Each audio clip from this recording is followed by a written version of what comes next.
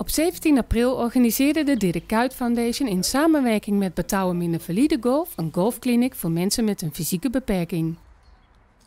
Dirk Kuyt was op tijd aanwezig om de deelnemers een sportieve middag te wensen. Ik hoop dat ik ook voor jullie nog wat mag opsteken. En verder wil ik jullie vooral gewoon uh, ja, heel veel plezier toewensen en een hele uh, uh, fijne dag. Dankjewel.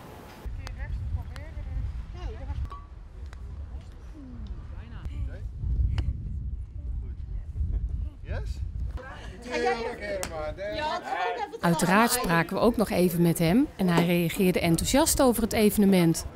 Ik was vandaag uh, gelukkig, uh, gelukkig vrij na een goede overwinning uh, gisteren. En ja, daarom ben ik ook heel blij dat ik zelf fysiek aanwezig kan zijn. Want ik zie het plezier niet alleen bij de mensen die sporten, maar ook hun begeleiders.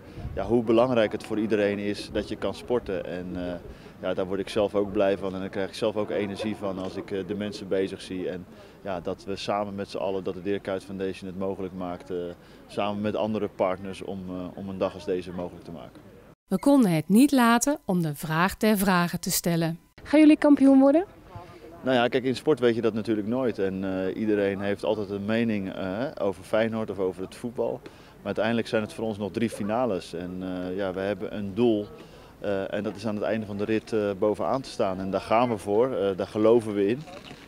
daar, daar geloofden we met z'n allen in het begin van het seizoen al in. En nu nog steeds. En nu komt het steeds dichterbij. En het is aan ons om niet te veel ja, woorden te hebben, maar meer daden. En dat moeten we toch echt op het veld laten zien. En wat dat betreft kijken we gewoon enorm uit naar aankomende zondag. weer een hele spannende grote finale tegen Vitesse. En daar gaan we met z'n allen voor. Het was een bijzondere dag. En of Feyenoord kampioen wordt? De tijd zal het leren.